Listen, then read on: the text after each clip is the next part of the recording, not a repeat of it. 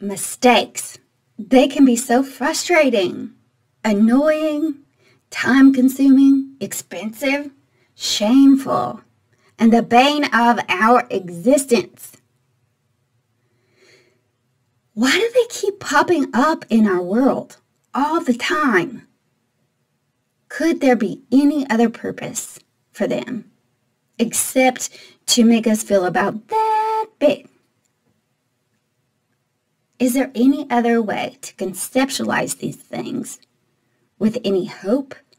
I'm Dana Hicks, a licensed clinical mental health counselor, and I have some tips that can help you sidestep all that uncomfortable stuff and skip to the beauty. Yes, I said beauty of the mistake, as well as bring you closer to the person that you are always meant to be. I want to share a story before I give you the tips about the way that I learn. Okay, and a situation that I found myself in because of this. So I was in third grade and there was a math problem put on the board. And I was doing, I was working really hard. I was dedicated. I was like working the steps to get there. And somebody else answered before I did. And for the rest of the class, I berated myself, spent my time just telling myself, oh, I'm so stupid. Oh my gosh, why am I even in this class? I feel this small right? And I turned my thinking off because my, my emotions just went, right? And I let that be a wall. I stopped at that wall of uncomfortable feelings. And it kind of wrecked my relationship with math from that point on. okay, so that's a really sad story, but that happened. Okay. But after looking at it, I realized that, you know what? The way that I learn is not by rote memorization. It takes a lot of energy for me to do that. I can, but it takes me so much energy. The way that I naturally learn is to see things from all kinds of dimensions, from like a systemic level. And then from that framework, I can not only answer one question, but I can answer a lot of questions because this is a system that I'm working from rather than do one thing at a time without any context of where it's coming from, right? So at the time, I did not know that, but if I were going to respond more functionally to this, I would first, tip number one would be that I just give myself permission to take some time with this. It is a struggle and, and it, it's okay.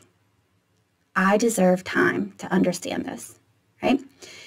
And then number two is Thank those uncomfortable feelings because they're actually what they're doing is getting your attention and saying, hey, something's a little off here. It needs a little bit more attention. Look under the hood, if you will, and see, learn more.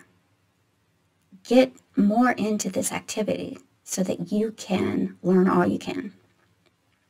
So, thank those uncomfortable feelings for getting your attention right? And then imagine them in a bubble floating off into the Netherlands because they have done their job. And that's okay. You can release them. Give them permission to float away because they've done their job. They've alerted you. Okay. Then come back to the activity and with no judgment whatsoever. Let whatever information that you have learned bubble up to the surface. And by that, I mean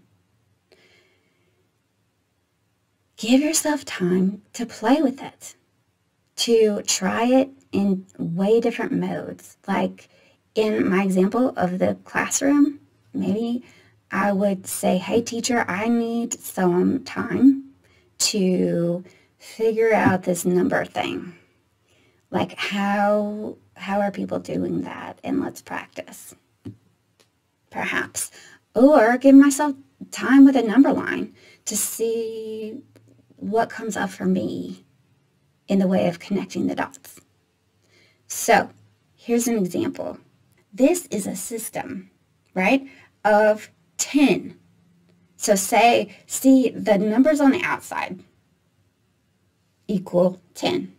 And then if you walk one step in, which would be the 2 and an 8, they actually equal 10 too. And then it goes on like that, 3 and 7, and then more in 4 and 6. They all equal 10. How cool is that? That is a big picture. If I was to play with this until something magical for me, the way my brain works, clicked and saw the big system, then maybe, maybe my relationship with math would be so much easier. So number five is ask yourself, what about your actions, now that you have this information, do you need to change in order to avoid the mistake in the future? So my answer in this example would be maybe I need one of these systems during math time on my desk so that I can reference it and practice it and use it so it becomes part of me. So step number six is after having gone through this process, what did you learn about yourself? How do you view yourself differently? So my answer to that might be, you know what? This doesn't mean I'm stupid. It actually, after answering all these questions, means that I'm pretty smart because I was eventually able to solve the problem and not just one problem, but several problems at once. So to review, number one is give yourself time and space to just notice what's going on during this mistake and advocate for that time because you are worth it and you will glean so many treasures because of it. Number two is thank your uncomfortable feelings for getting your attention. Number three is let the uncomfortable feelings drift away because they have done their job now. Number four is ask yourself, what have I learned about this activity because of this mistake? And how has that changed the big picture? Number five is knowing that information, what actions do I need to change in order to avoid this mistake in the future? Number six is ask yourself what you have learned about yourself through this whole process. In conclusion, I want you to know that you are worth the time it takes to let go of those emotions, the uncomfortable ones at least, and look under the hood to see the connections that are there, the deeper connections that could help you solve not only one problem, but several at once.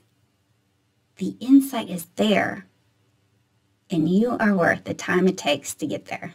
So after going through all these steps, I'm wondering what was the most intriguing part of this for you? Please let me know in the comments. And also feel free to share and subscribe below with no strings attached.